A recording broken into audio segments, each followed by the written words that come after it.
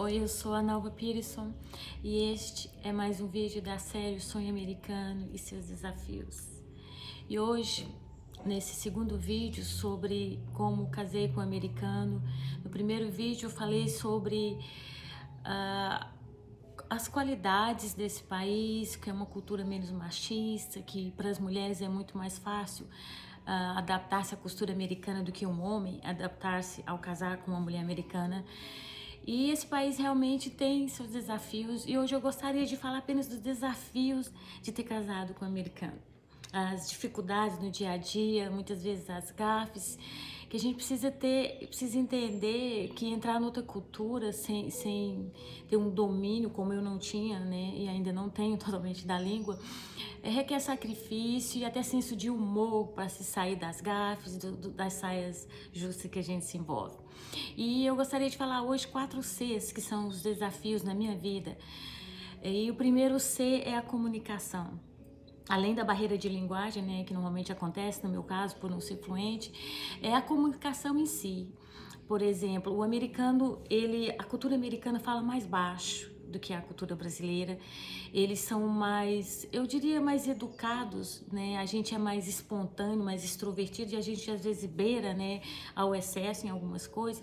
E o americano eles usam demais o, o please, é, o thank you, né, obrigado, por favor e com o meu relacionamento com meu marido, muitas vezes ele fala, eu peço alguma coisa para ele, na nossa cultura brasileira, a gente na entonação na voz, faz isso para mim.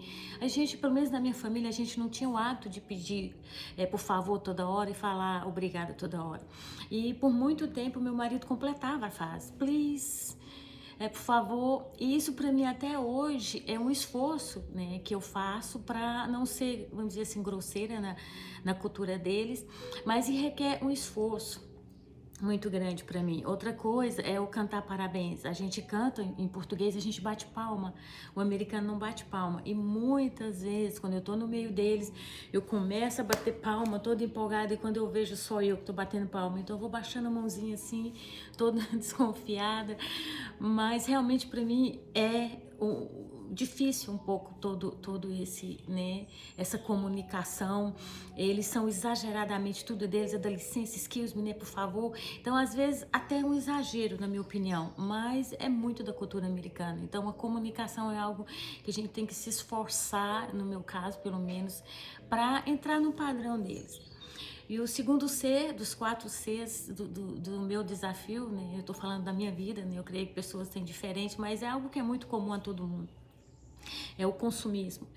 É, um pastor às vezes brincava comigo que se mamão tivesse uma residência seria nos Estados Unidos. Realmente aqui não se conserta nada. Primeiro que a mão de obra é mais cara do que comprar um novo, né? A cultura não é só porque eles consomem por consomem, eles têm esse hábito sim, mas é porque às vezes você chama uma pessoa para consertar uma máquina de lavar louça e é quase o preço de comprar uma nova. Então, é a, é a cultura do, do, consumismo. Se compra muito, se estoca muito e muitas vezes as pessoas quando chegam aqui a, montam uma casa inteira com coisa que eles colocam na porta das casas como lixo no dia que o caminhão passa, né? Que aqui passa uma vez por semana, diferente do Brasil, a gente tem umas caixas grandes, né? De lixo e uma vez por semana. A gente acumula o lixo é, durante uma semana e o lixeiro passa. Então, é, é muita coisa, muita coisa útil, muita coisa. Tem um, o Goodwill aqui, que é uma loja né, de coisas usadas, e é interessante o tanto de móveis bons que se tem um preço assim muito barato. Então, é, isso é uma coisa que eu tenho dificuldade com meu marido às vezes, eu tento, sempre tentando puxar ele, vamos economizar nisso. Por exemplo, se chamar um eletricista dentro de uma casa é muito caro, pintar uma casa é muito caro. Então, eu tô sempre, né, puxando meu marido para a gente economizar mais e eu puxando por um lado e ele querendo gastar pelo outro. O terceiro C é a comida.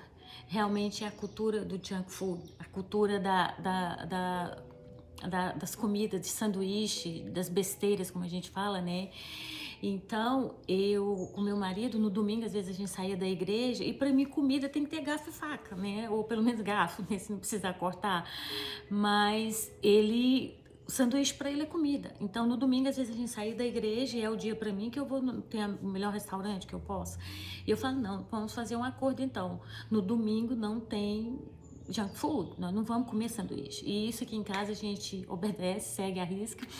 Mas para ele, se você se visse sanduíche, inclusive ele pediu, que é uma coisa até que eu achei engraçada, ele perguntou se eu poderia fazer cachorro quente, sanduíche uma vez por semana no cardápio. Então é algo muito interessante porque eles gostam realmente, não, não comer um sanduíche para eles, comer é, manteiga de amendoim com pão né, e geleia é uma refeição. Se você colocar hoje, no, nós vamos ter é, pão com geleia de amendoim, né, pinabara, sanduíche que eles falam, é, manteiga de amendoim, geleia e pão é uma comida e para nós não é. Então isso realmente foi no, no começo para mim e também a cultura da, da, da, do purê de batata, né? Aqui em casa eu faço arroz muitas vezes só para mim, é muito raro ele comer arroz. Então eu adaptei isso, eu gosto muito de batata. Hoje eu como mais batata que antes, mas é a cultura da batata, né? Do mestre poteiro como eles chamam. E o terceiro, não, quarto C é o carinho. Né? Uh, na realidade, eles são mais frios do que a nossa cultura brasileira. Isso é uma coisa, no ponto de vista mais negativo. Você não vê um americano se beijando em público, é muito raro. Eu tenho uns 15 anos aqui, eu acho que eu nunca vi. Eles podem até dar um beijinho no rosto, mas é a cultura do não expressar afeição em público. Então, eles são mais discretos com relação a isso, mas não quer dizer que eles não sejam carinhosos em casa mas eles né, mantêm um, um, um, respeito lá fora.